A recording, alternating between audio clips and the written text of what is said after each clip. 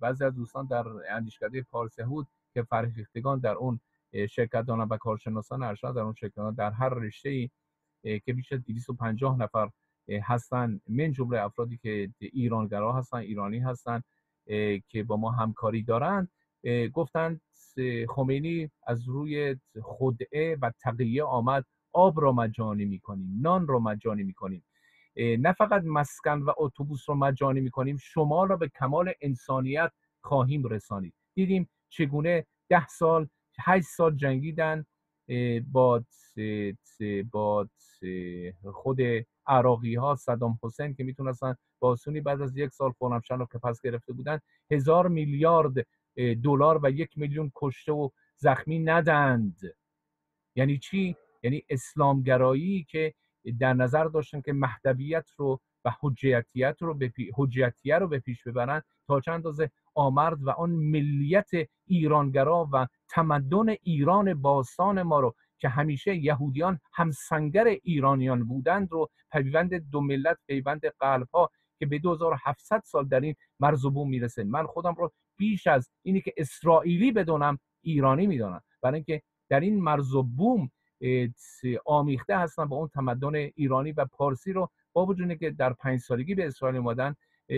با شیوایی می‌تونم یاد گرفتم و اون رو بیان می‌کنم. چرا؟ به خاطر تمدن بزرگ ایران باستان و در کنارش یهودیان 2700 سال بودن که دو ملکه داشتن. ملکه ما شوشن دخت رو داشتیم و ملکه استر رو در ایران داشتیم.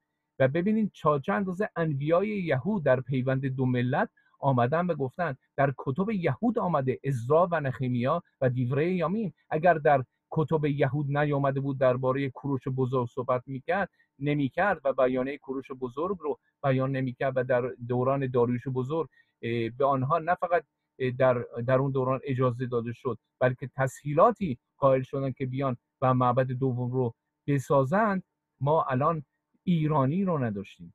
یعنی وقتی که آمد حسن رو هیکل آمد با یک فرهیخته ایرانی صحبت کرد و گفتن چطور شد که اینها قطبی بودند کتوین بهش میگن در مصر. چگونه شد که اینها اسلامگرا شدن چگونه شد که قرآن رو قبول کردن اسلامی شدن و اعراب شدن و واپسگرا شدن هنوز که هنوزه می‌بینید که در منجلابی دارن قوتور هستن که پیشرفت نکردن بعد از 1400 سال.